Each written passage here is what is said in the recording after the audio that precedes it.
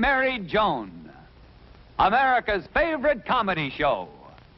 Starring America's Queen of Comedy, Joan Davis, as Mrs. Joan Stevens.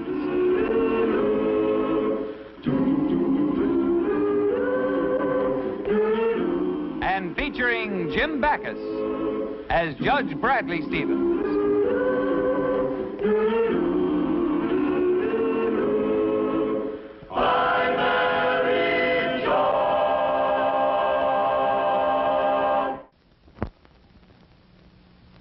Brad, Yes, dear. I'm sure glad that you agreed to dig up the garden for the new shrubbery instead of going to play golf. So am I, dear.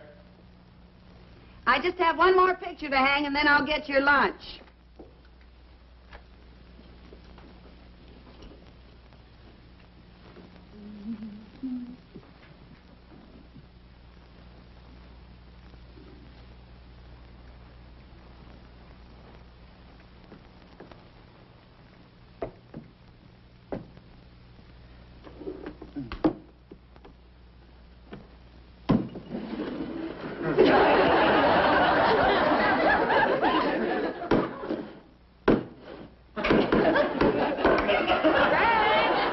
Brad! Brad! Uh, Brad! Brad! Well, Joan, Joan, what's the matter? Well, look, honey, there, there's a safe in the wall. Safe? Say, it's i i it's locked. Stand back, Brad. Now, wait, wait, wait. What are you do? Honey, I'm going to break it open. Maybe there's jewels or gold hidden away. Oh, no, honey, I, I don't think Mr. Robbins left anything in that safe. Mr. Robbins? Yes, the man we bought the house from. I'll tell you what, dear. I'll call him, get the combination, and then we'll open the safe, huh? All right, Brad. Right, there. Let's see. Gee, you know, it's funny that Mr. Robbins didn't say anything about the safe in the wall. Well, he probably forgot all about it. Uh, hello? Hello, Mr. Robbins? Uh, this is Judge Stevens. Say, can I uh, trouble you for the combination of that safe? What's that? No, the uh, the wall safe in the in the living room. Yeah, it's right over there. Uh, no, no, it's behind a panel right over the fireplace. Yeah, you hit it and it opened up and then you hit it again. Uh-huh. Uh, what's he saying, Brad? Well, really? Uh, what, what, what's he saying, honey? Well, that's that's very interesting. Oh, what's interesting? is is that so? You you don't say. Uh, what don't he say, Brad? well, thank you very much for telling. Not at all. Uh, goodbye, Mr. Robbins. Uh, what did you say? Robin, say. Oh, dear, it was nothing important. Uh, uh, how would you like to go to the movies tonight? Bradley J. Stevens, will you please stop torturing me? Tell me what Mr. Robbins said. Oh, Mr. Robbins didn't even know the safe was there. He didn't? No, he said it was probably put in by the original owner, the man he bought it from, uh, Mr. Abner Cartwright. Gee, then I'll bet that the safe is loaded with stuff. Well, hardly. You see, Mr. Cartwright was once a rich man, but when he died, his entire estate consisted of this house. Well, what happened to all his money? Well, nobody knows. He had no family, no heirs, and Mr. Cartwright was an eccentric old man. I'll bet I know the reason that they didn't find the money is because it's all in that safe. And it's all ours. Look, in the first place, you couldn't possibly break open that safe with that hammer. Oh, that's right. But I'm sure going to try, Brad. And secondly, if there was anything, I'm not sure it belonged to us. Now, Brad, how can you possibly say that? We bought this house. That means that we bought everything that's in it. And you said yourself that Mr. Cartwright didn't leave any heirs. Well, Joni, it's hardly that simple. You see, there has to be a member from the probate court here when that safe is opened. Then we can keep the money. Then we can keep the money. Now, now, wait, wait, wait. Uh, uh, don't you see? It all depends upon how long he, how long ago he died. We might get a percentage of it. We, we might get nothing. I don't know. It, it all depends on the circumstances. Yeah. Maybe you're right. I guess I was getting all excited over nothing. Perhaps there's nothing in the safe. now you're being sensible, dear. It's probably empty. Like you say, a few old letters, photographs. That's right. Or, or at best, maybe Mr. Cartwright just kept a small amount of money in there for emergencies. Hundred dollars or so. That's possible. Or if we're real lucky, uh, some small securities, probably worth very little by now. Perhaps nothing. On the other hand, they may have gone up. Mr. Cartwright had invested $1,000 in some oil stock 50 years ago. Today, it could be worth 10000 Oh, Joni. Or maybe even 50000 Now, Joni. Or it could be a half a million. Or even a million. Brad, a million dollars. We're rich, Brad!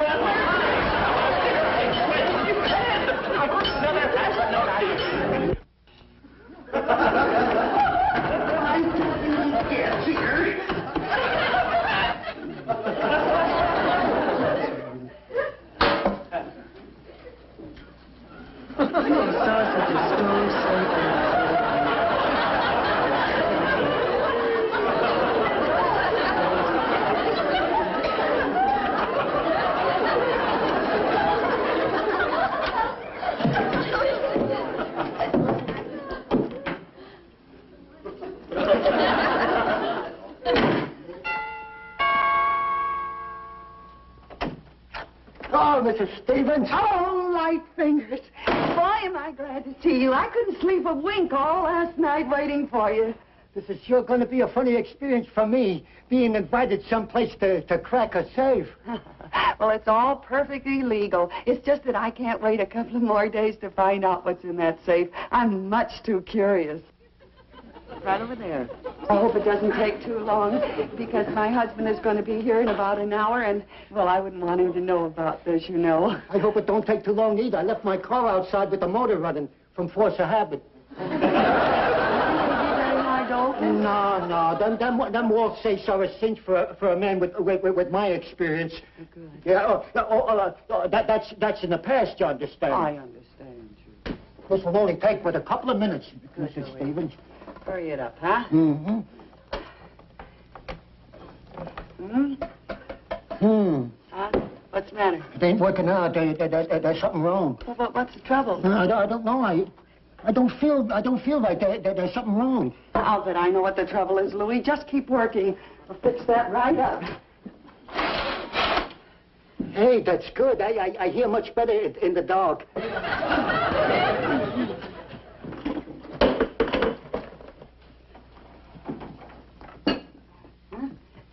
Now, Oh, that's perfect, sister. Perfect. I'll listen for the cops. There. I knew it was a cinch. Oh, so when you open the curtains, I can't wait to find out what's in there. Ah, ah, yeah. It's empty. Huh? No, no, there's something in. Yeah, uh, yeah, there's there, there's something in there, Louis. oh yes, there, I, I feel it so plain. Yeah, yeah. Oh yeah. Uh,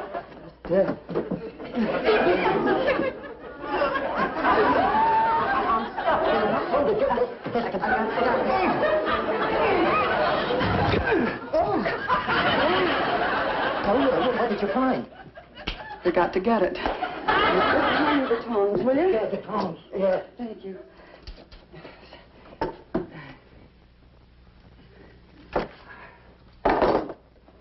There's nothing in there but this one piece of paper. And it's an old, dirty piece of paper at that. And it's nothing but an old, torn map. Map. Look, there, a map.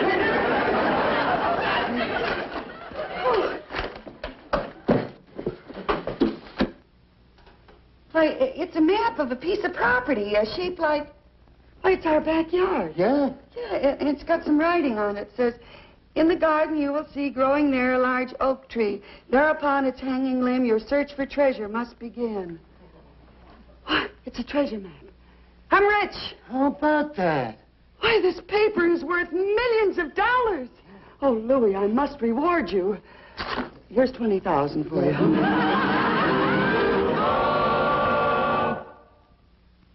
Hello, Louis? Yes, yes, everything is working out just fine. Mrs. Stevens thinks the treasure map is genuine. Thanks again for calling me right away when she phoned you. If she ever knew that you opened the safe for Judge Cushing and me before you opened it for her. Well, well, thanks again, Louis. I can hardly wait till she starts following instructions on that treasure map. Some treasure map. Yesterday it was the back of a shopping bag she brought lamb chops home in. Oh, no, no, no. She hasn't said a word to me about it. Okay, Louie. Well, didn't I tell you, Mabel? Just as soon as I said the word golf, he grabbed his clubs and flew right out the front door.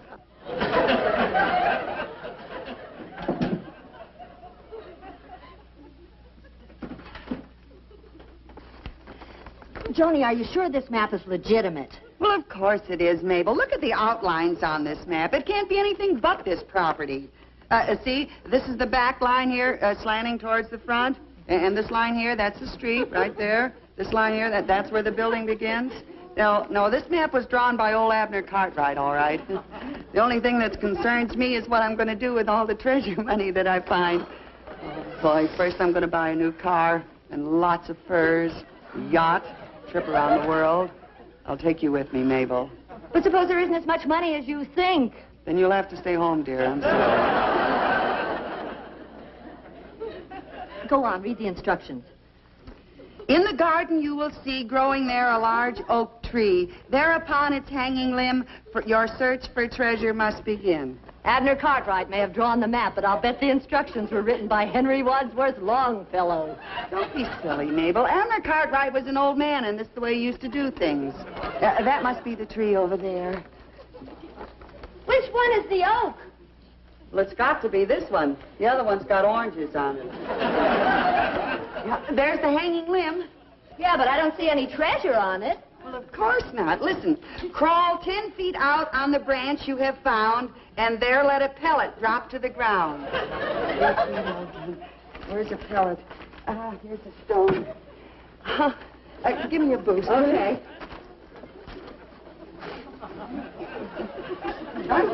Okay. So anybody seeing us doing this would think we're nuts.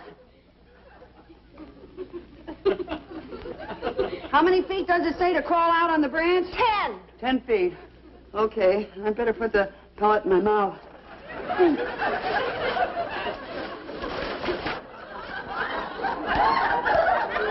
Up one foot. Two feet. Three feet. Four feet. Five feet. Six, seven, eight, nine, ten. Uh, this is ten feet. I better drop the pellet to the ground. This must be the place. Right there. Not yet. Let's dig. Come on. From this spot, three paces north, dig, and you shall bring it forth. Bring it forth. That's the treasure. Let's go. Three paces north. One, two, three. This is it. How do you know that's north? Because it's colder over here than it is there. No, that's west. That's north. That's all right. This is north. One, two, three. Right here, Mabel. Uh, get my shovel. Because the sooner we find it, the sooner I can spend it. Let's go.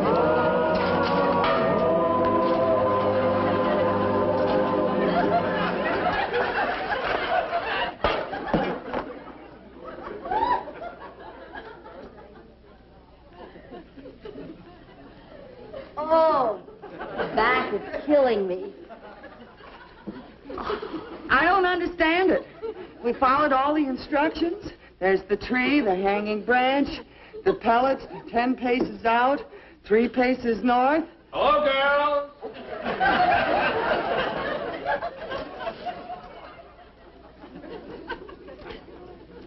Joni. Joni. What's up, Doc? That's what I'd like to know. Uh, well, Brad, you, you want the truth? Yes, I'd like to hear it. I bet you don't. I don't what? Want to hear it? I think you better tell him, Joan. Yeah, I guess so. Brad, I, I disobeyed you. I opened up the safe. You didn't. I did, and let's not argue about it, dear. You'll never hear the rest of it. Look, uh, this, this is what I found. Oh, it, uh, well, it looks like a map of some kind. It's a treasure map. I I was hoping that we'd dig up the treasure before you got back from your golf game. Uh, from this spot, three paces north, dig, and you shall bring it forth. Joni, you actually believe this ridiculous gibberish? Well, of course I believe it. I mean, it's not ridiculous. We both know that uh, Mr. Cartwright was kind of peculiar, you know. Poetry. Well, Fred, I admit that it sounds like it was written by a lunatic. But, but believe me, I am thoroughly convinced that there is a buried treasure right here in our own backyard. Oh, Joni, you're just being silly. Brad, you want to pitch in and help us dig for the treasure? no thanks. When it uh, comes to buried treasure, I'm what the kids would call a square. I don't dig it. Okay, Brad. If that's the way you feel, you're not going to share in the treasure. That's all right with me, Joni. Yeah. Oh, Mabel, I rubbed your back the last time. Will you rub mine now, oh, dear? Sure.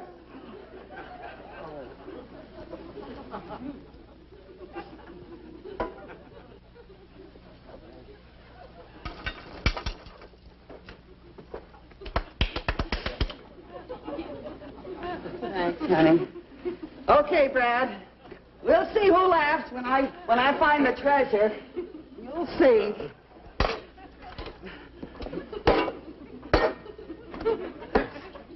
Brad, I I found it. I found it. Well, what do you know? Now maybe you'll believe me. You said that there was no treasure. Well, that's a pretty small box. Yeah, it is, Annie. Uh, but maybe it's filled with diamonds and emeralds and, and rubies.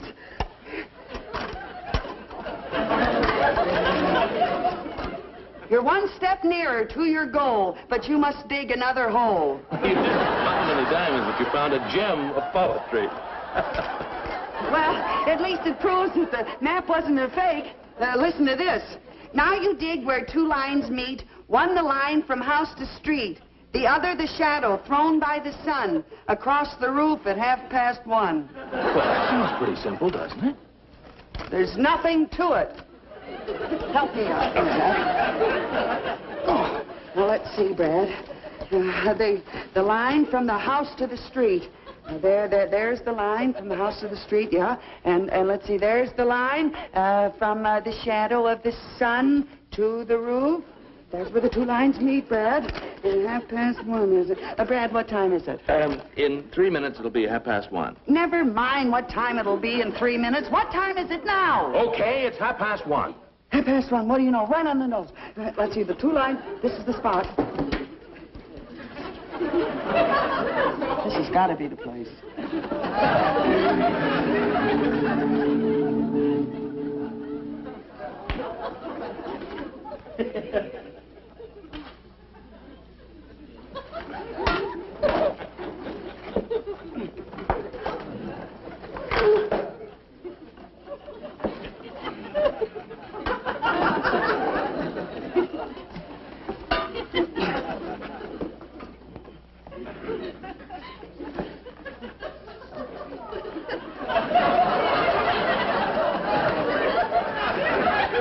Just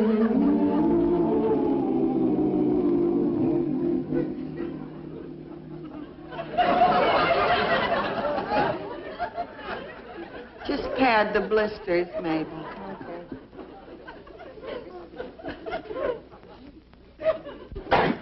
Well, how's the, how's the treasure hunt coming? Very well, thank you. Oh, Joan, stop kidding yourself. We've dug up half the county. Your Mr. Cartwright must have been crazy with his maps and poetry. I'm quitting. Mabel, you can't quit. Oh, can't I? Just watch me. But what about the new outfit that I promised you? Keep it. Just send me a check for a dollar an hour for the digging. Oh, Mabel. Well, Joni, Mabel's being silly.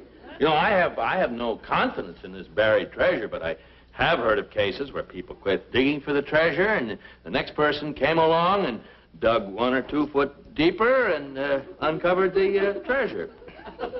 Is that right? Yes. Two, three feet deeper and uncovered the whole thing. Uh, dear, dear, uh, Huh? dear, this looks like a likely spot.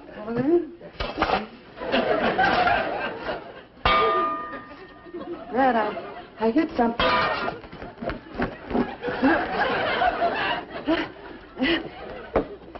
Some treasure. There's a note inside, Brad. The prize is yours if you won't balk and dig one more hole by the flagstone walk. Joni, that sounds like the end of the trail. Yeah. Well, Brad, now that it's getting so close, I, I'm getting pretty nervous. I think I better go and get some lunch first. Wait, wait, wait, Joni. Don't you want to get started? Aren't you excited? Well, of course I'm excited, Brad, but, well, who knows how deep the treasure may be buried, and I, I better get something to eat so I can have some strength. I'm not well. That's right.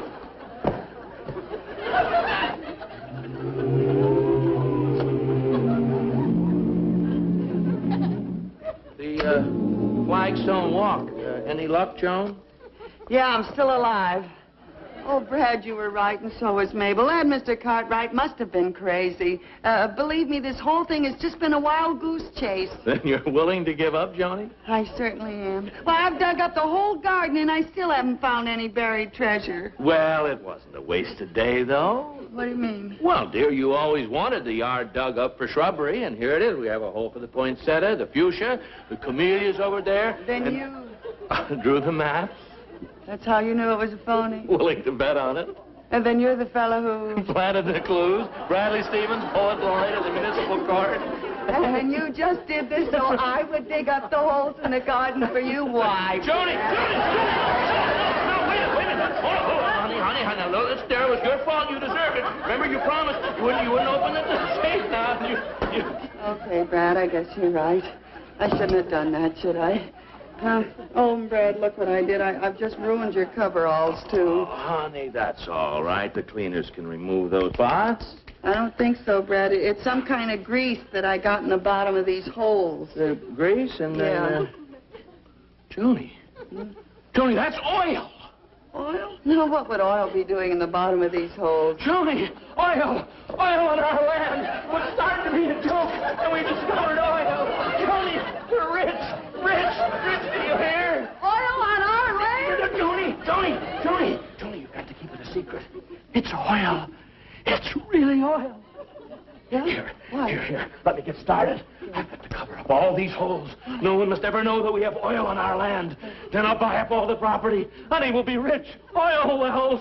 Gotta start digging, covering the holes. Don't tell anyone.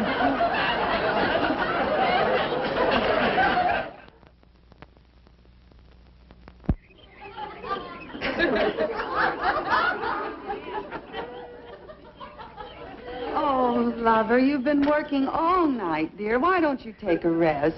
Oh, I will just as soon as I get this last hole covered up. Oh, Brad, I'm just so proud of you. Yeah, now, Joan, remember, no one must know about oil on this land. Must be a complete secret. Well, then we better get rid of uh, these oil cans. You didn't. Oh, yes, I did, Brad. Here, it's for you. I dug holes in the yard, like you said, but none is so big as the hole in your head. You thought you were smart, but your plan didn't gel. So remember the old saying, oil's well that ends well. Joni, when did you find out? Well, honey, when I got that last note with the rhyme about the flagstone walk, there was no flagstone walk when Mr. Cartwright lived here. We put that in ourselves. Ha ha! Well, here's mud in your carburetor.